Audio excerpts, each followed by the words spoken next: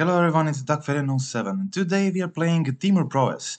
Okay, so Temur Prowess got a new card, the Elusive Otter. It's a one mana Prowess creature that also has adventure ability on it, but it's not really that significant.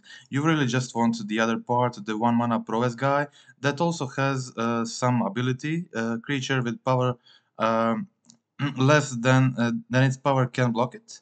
Okay, so uh, this guy has done really good and people have been skeptical about how he's doing against Bowmasters. I'm here to tell you that the card is really good and it's not that hard to play around Bowmasters with this deck. You also have 4 Lava Darts, 4 Lightning Bolts, 4 Lightning Bolt in the main as a solution for uh, Bowmaster and uh, you can really efficiently just get it off the table and uh, save your uh, Elusive Otter in most situations. Okay, also on the sideboard, additional removal, some counters, and some, uh, these two cards are your only solution to the Chalice of the Void. One Tear Asunder, one Explosives, also Spell Pierce. And uh, yeah, okay, so Graveyard Hate, Burn Hate, uh, Creature Hate, Cascade Hate, and Gigant, of course. But we have another new card in the main questing druid i have been trying to put the second copy of this card in the main i uh, had a feeling in the beginning that this is going to be a great card for the pros builds and the card is really really good but uh, i'm uh, after some gameplay after some uh, testing i'm of opinion that uh, you want like two copies of this card but I haven't been able to fit in the second copy at the moment. Uh, I really want four of uh, all these cards. I really want three mutagenic growths, uh, three underworld breaches. I play uh, play Prowess a lot. I really like the archetype, but uh, so I'm kind of used to these numbers. I always play three mutagenic growths, always play uh, three breaches for last few years, and uh, yeah, so I'm really used to these numbers, and it really just didn't didn't find the space to uh, put in the second one, but uh, I, the card has been good, and you will see it immediately in the league uh, in the first match. Okay, so um, I have played uh, two good leagues with it. Both ended up 4-1, uh, and we will check out one of those. Okay, uh, I mulligan this one lander, kept two pretty good cards. Um, mulligan's the Otter, because I had plenty of one drops and it is kind of uh, weakest one drop from these guys but uh, still uh, that card is pretty good uh, because uh, yeah you really just want to have these one mana prowess creatures that's and the channeler of course. But uh, that is kind of the point of this deck just playing this one mana prowess guys and try to be as, as aggressive as possible. And um, I'm really liking it just uh, mostly because uh, of its mana cost. I don't really care much about its uh, adventure ability, but uh, mana cost of uh, just one uh, one mana you can play it you can play it two two two creatures on turn two. That's just really good in a lot of situations. And here it is on the first match. You can immediately see the questing druid I played it Seek the Beast ability, Adventure ability, Exiling Preordain, and Mutagenic Growth. This was so great, and uh, now you can see like uh, what are what was my thought uh, about this card. Uh, you do the Reckless Impulse thing, immediately uh, gets the value. Um, cast two spells, grow your prowess creatures, and you still have this amazing threat uh, you can play on your next turn and almost all spells in the deck grow him. So whatever you play this guy gets a plus one counter. And it's also reckless impulse. It's pretty pretty good. If this was a Bowmasters deck I wouldn't play it like this. I would uh, not play the Otter without leaving a mana open to protect it against Bowmasters obviously uh, here I suffered the uh, Supreme Verdict, solid, first Solitude Pitch Cast, then Supreme Verdict, and then again another Solitude Pitch Cast to kill uh, all of my threats. But uh, my hand was good, I had plenty of those, and uh, opponent passed the turn. And they play Subtlety on my Swiftspear. Uh, this was fine. I decided to go for the Soul Scar, leave, this, leave the Monastery on the top and then next turn, just uh, attack with the lava dart back up. I wanted to get uh, most value out of the breach, so I decided to this turn just go for the lava dart, ping the subtlety, make it 2-2 and kill it, uh, save uh, my guy. But they had uh, dress down, so my creature lost the ability and I had to trade with the subtlety, which was fine, I still killed it and th that was okay. So opponent uh, cycles the Lorien and uh, just passes the turn. So I went for the breach. They tried to dig with the memory deluge, uh, but didn't find the counter spell they wanted. So uh, I was able to uh, play uh, play the Monastery Spear, then uh, Lava Dart flashback, play Lava Dart for its flashback cost, mutagenic growth twice for the lethal on the same turn and opponent concedes, that's it. Okay, opponent also conceded the entire match. Um, they said like they forgot to put their sideboard or something. Uh, but yeah, okay, they conceded the entire match, and uh, we are now we can now go to the match two. Okay, in the match two, I would say pretty good hand. Turn one Swiftspear, turn two Swiftspear Preordain. It's basically ideal, but opponent goes turn one Scam Fury. This is pretty scary.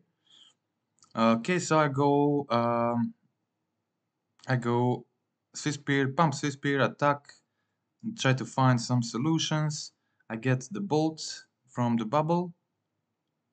Uh, then uh, I start turn with the Preordain and trying to find another burn spell, and I did find a Lava Dart. I decided to I decided to go for it uh, immediately on my turn. Just pump the Swiftspear. Um, make my uh, Swiftspear a 4-5 this way. Uh, even if uh, they uh, play Undying on Fury, they still can kill my Swiftspear. So I put them on 9 life and yeah, we were now both in a top deck mode, but my deck is probably slightly better in this phase in the top deck mode, especially since I find the Swiftspear immediately. Also have Giganta there. so opponent uh, plays Fable, uh, as a blocker, I top deck Expressive Iteration, find the Lava Dart, uh, which gives me immediate uh, lethal damage. I played it twice and played the Drain, growed my Swiftspear uh, for a lethal attack, and that was it. So, survived the turn 1 Fury, a scam, and got an easy win after that. And uh, let's check out game 2. Okay, uh, pretty decent keep. They're playing first, so this hand is a bit soft to the Bowmasters. Both Channeler on turn one uh, died it, but uh, I didn't have my. Uh, I can see. I can also show you my sideboard. I didn't sideboard in the first match because opponent conceded entire game immediately after game one. But here you can see that I took out my mutagenic growths. Uh, these are bad when you're uh, on the draw opponent is too aggressive for you to try to play this card. So I brought in some um, Unholy Heats instead. Okay, so uh, I played my Soulscar, I played the Elusive Otter. I just uh, wanted to try to block this Ragavan, but opponent has uh, Fury, Pitchcast, killing uh, both of my guys and connecting again with Ragavan. Uh, they played the Sheoldred very good threat at this point. Uh, I luckily find, uh, go for the iteration. I find the heat, kill the Sheoldred, but still uh, uh, Ragavan uh, stayed on the field. And they find my bolt from the top of the deck. And yeah, now I was forced to go on one life, play the Underworld Breach, kill both of their creatures and play bubble one time to get one draw. At this point, uh, each bolt from the opponent, uh, Ragavan Dash and uh, Bowmaster's ping was lethal. But yeah, I had a pretty good uh, clock here, so they need to top deck it fast. So I uh, find a preordain uh, with the channeler. You can, of course, perfect your uh, draws from the top of your deck. Uh, especially now I had two channelers and I was looking trying to find the lethal and that started with preordain and Swiftspear was enough in case they don't have um, Fatal Push. And so uh, I went for it, uh, went Lava Dart face, uh, because of Dauthi I can't flashback Lava Dart, but it was enough even without it, and that was it, that was the game against Scam. Okay, so uh, let's check out match 3.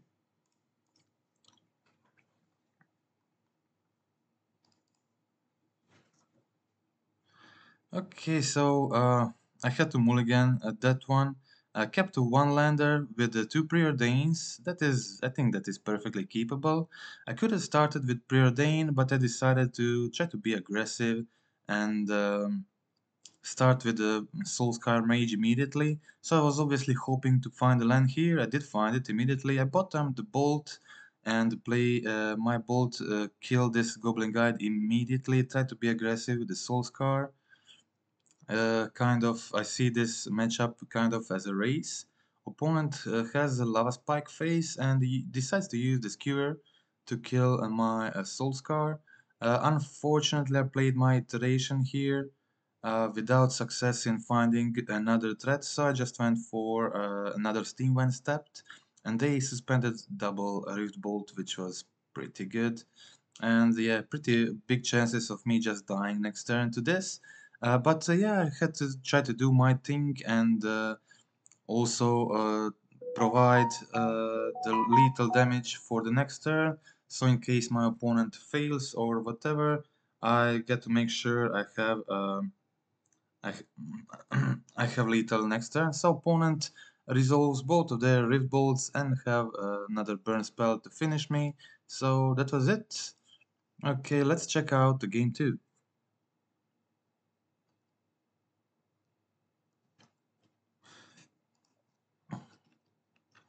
Okay, so um, against Burn, always pretty tense games, close games. I had to mulligan uh, to 5, pretty low mulligan. Also, uh, I had to mulligan that 6 cards when I had the Dragon Claw. Unfortunately, it was a 1 lander, too risky to keep.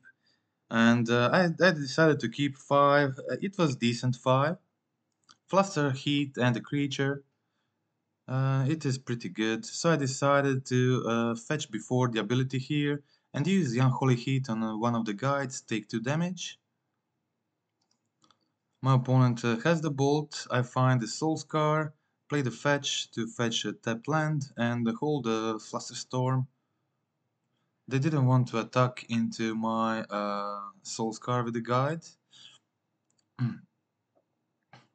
This time I decided not to bolt the guide immediately for uh, damage more, but to try to wait for the uh, uh, wait for them to attack so I get the uh, guide ability, see maybe if uh, land is on top. That could be like crucial.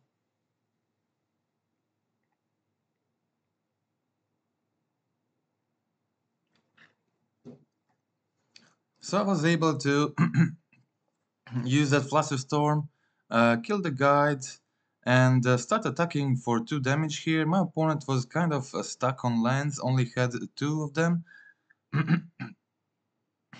and yeah, they were already on 7, and uh, they had to use the Fiery Islet to uh, paint themselves. And I had the top deck the Flusterstorm again to counter this uh, Boros Charm, so they went for um, double burn there, and I had a top deck, Dragon Claw, in this situation, which means they can't use the Fiery Islet, and uh, if they have the Bolt, uh, I gain life before the damage happens, so I survive on one life, and that was the game. Okay, so uh, always pretty close, pretty tense games against Burn. And but in third game, I had my, you can see the sideboard, of course. Uh, I boarded in, uh, I boarded out uh, mutagenic growth, of course, and one breach, one questing druid. I think uh, on the draw I had both heats in. On the play I probably uh, removed one of those. Uh, I also had the Dragon Claws. Oh, Dragon Claws are definitely the most important. Fluster Storms and Spell Pierces are also just crucial in this matchup. I didn't have any creatures there, but I had the Dragon Claw on turn 2 and my opponent didn't have a solution for it. So I was debating uh, which creature, uh, which hate for the Sanctifier I should include in my deck, and uh, I opted for not including anything.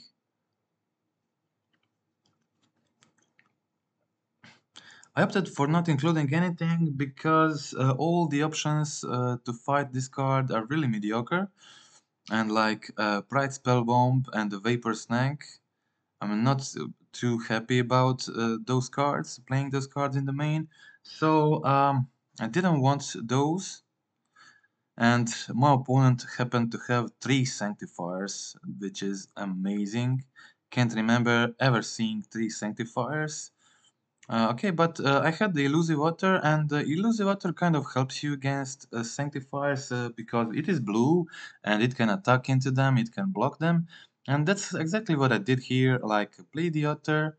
Um, it was a pretty hard game, obviously, because my opponent had uh, three Sanctifiers, which is like... That doesn't happen uh, very often.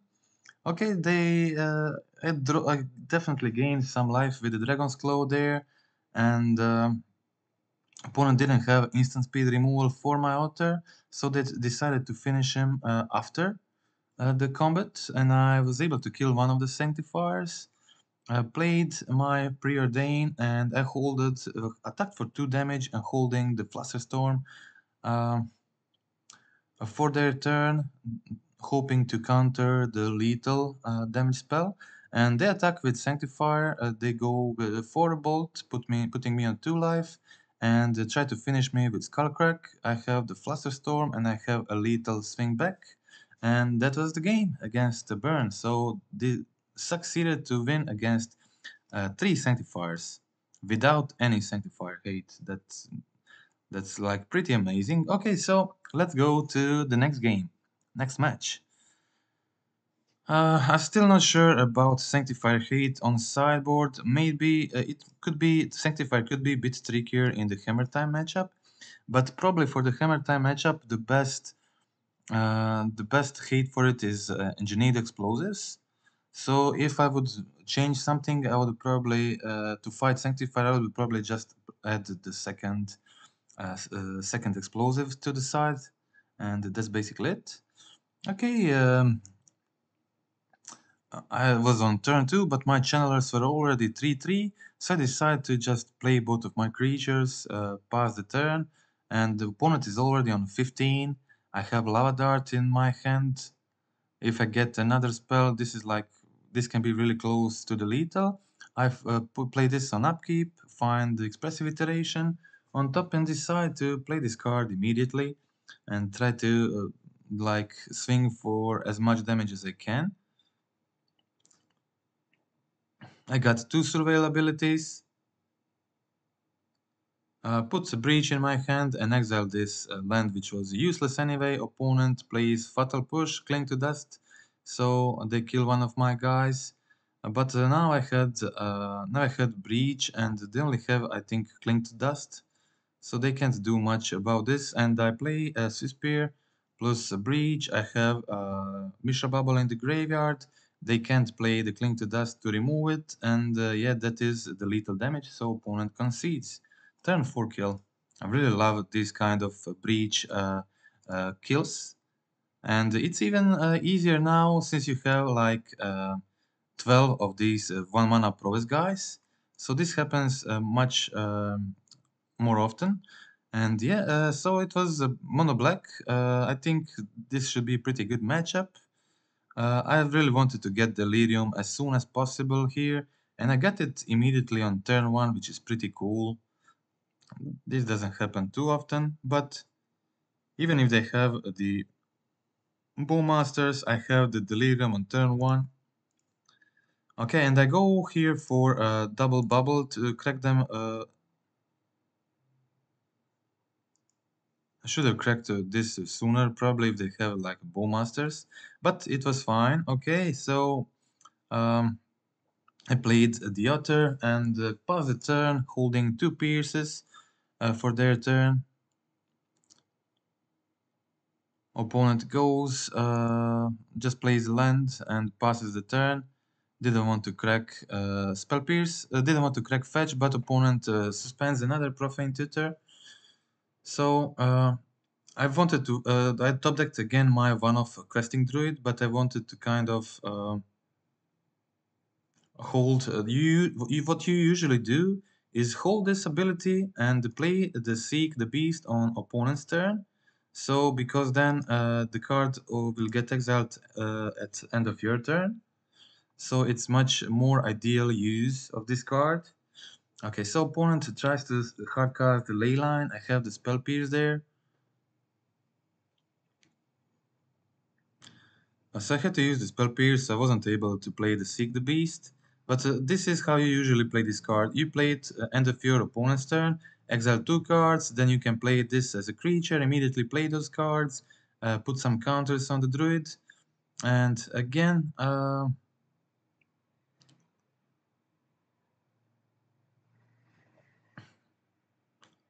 again I decided just to hold the spell pierces, uh, expecting for my opponent to get some removal there, and they went for Damnation, but I had another pierce, which was great for me, so um, I did survey some surveilling and uh, I decided to go for the lava dart I think to do another survey.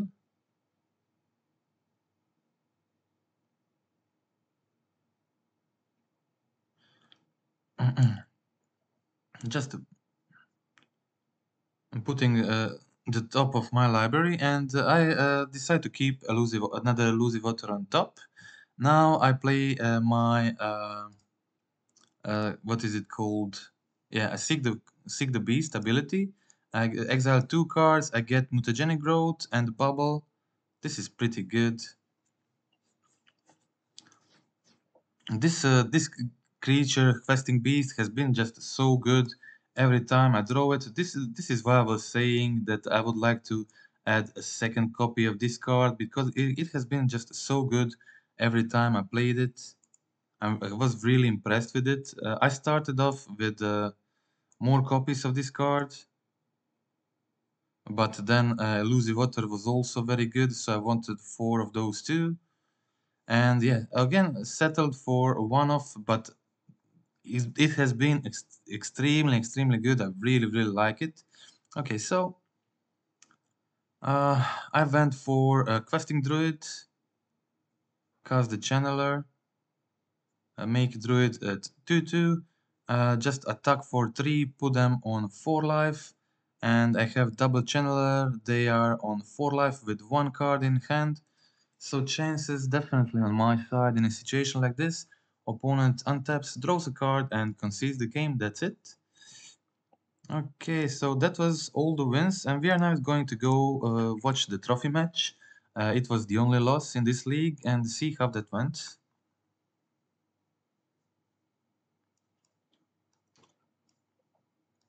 Uh, yeah, it was uh, it was hammer time matchup, and uh, it it wasn't the deck's fault. I I had a misplay.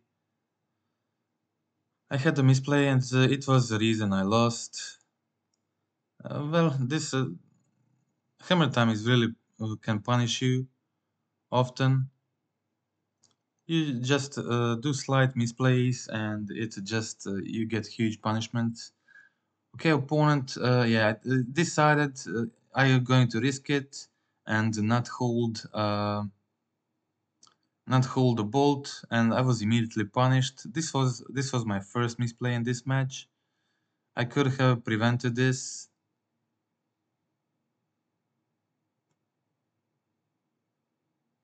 I could have just killed uh, the Sentinel in response to the Paladin cast. Uh, they wouldn't have uh, three uh, artifacts to use the hammer ability, they wouldn't have the metalcraft. And I would probably be able to dig something on my turn. I had the darts, I had the bolts, and yeah. So, but still, I was in the game. It's not uh, it's not weird to play uh, this kind of games against uh, against hammer time. So what you do is like attack with some of your creatures with most of them uh, and leave a few of them uh, in the block.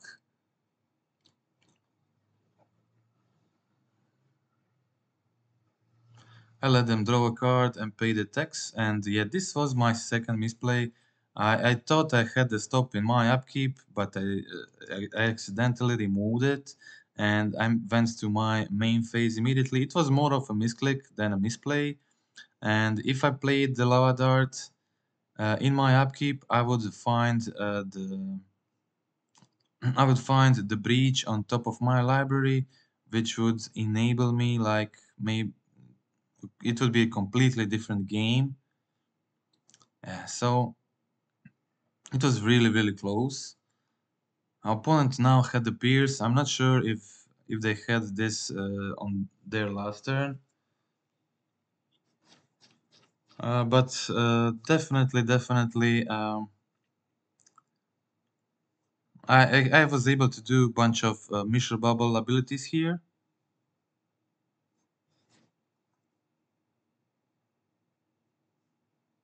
Yeah, and uh, due to the spell pierce, uh, I should have gone for a mutagenic in response to maybe find another lava dart, put it into the graveyard, but I was I was already annoyed of uh, the misplay, and yeah, so really close game, and I lost this due to the misplay, and I could have this could have been an easy trophy.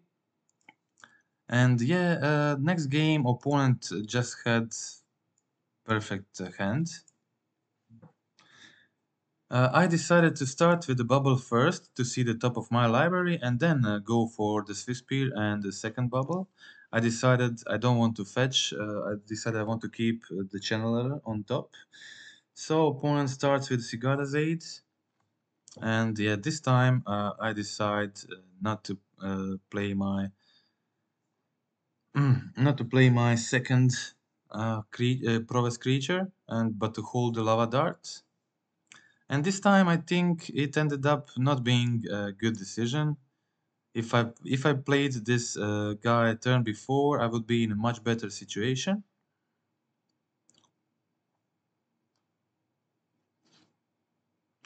Opponent uh,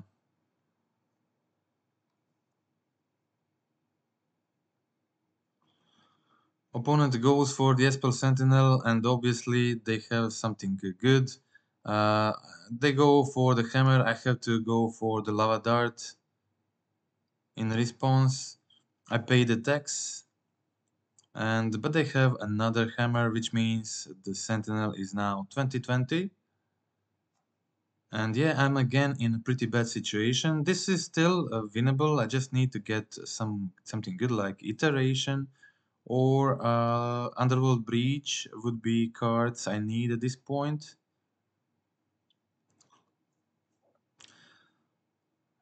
Okay, I put the explosives on top of my library.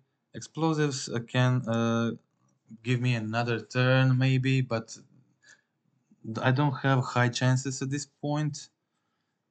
I have some chances though. Opponent goes with Saga, plays the third hammer, well, third hammer at this point doesn't matter. I mean, it matters, but it's not. Uh, I can still, uh, I still have some chances. I need the same cards to top deck and win. Uh, you already saw I, had explosives on top of my library, so my opponent also has the spell pierce. Uh, so this means I get to attack with a channeler I block the bigger creature and uh, uh, let the uh, 12, um, 12 damage through. But opponent top decks Stoneforge Mystic for lethal damage this same turn and that's it. Okay. Uh, that was the entire league and uh, yeah so definitely had the opportunity there to win on in the first match against Hammer but had two uh, one bad uh, misplay and one misclick and uh, yeah both of them led to me losing that trophy and but uh, the, the, deck was very good through entire league played against various matchups and it was just i was really happy with it. As i said this questing druid i had a big hopes for this guy in the prowess and it is really good uh, but i think you don't want it like uh, more than uh, two copies. I think two copies would be great. I still haven't settled what to remove for the second copy, but maybe just one off is also fine and uh, but the card has re I really have been impressed with both of these cards. Elusive Otter is like the weakest of the Prowess creatures, but it doesn't matter because it's still one mana a Prowess creature, and that's like the the most important thing in this situation. I didn't. Uh, I played a, a other league, and in that league I had more Bowmasters matchup, and I have been just able to constantly hold mutagenic growth, uh, lava dart, or whatever to just protect it, and then I had multiple options to kill uh, Bowmasters easily, and it has never been a big problem uh, so far. Okay, that is it. Um, so uh, I give you the news that uh, Otter is good, Questing Druid is also good, and it's playable in the Prowess uh, type of deck. I really like this uh, Temur shell. Uh, I also like these uh, three cards on the sideboard. They have been very useful. I'm still debating between two states and one Asunder and two Asunders and one state. If I'm expecting like more Chalice to the or Chalice of the Void, I would probably go with the two Tear Asunder. Tear Asunder is also great against uh, One Ring. Okay, and um, explosives uh, at this point and uh, Asunder are your only options uh, against uh, Sanctifier en-Vec in the Hammer Time matchup. And uh, that is it. Uh, I I think I think I like uh, this 75 so far, and that is my choice at the moment for this Prowess list. Okay, that is it for now. Thank you for watching, and just a friendly reminder to click like, click subscribe, comment in the video. Uh, tell me about your experiences with the questing druid. What would you remove for the second copy? And how did this deck perform if you tried it? And uh, also if you have, uh, if you feel like I missed something really important uh, on the sideboard. And that's it. Okay. Uh, thanks again for the watching. That's it for today and goodbye.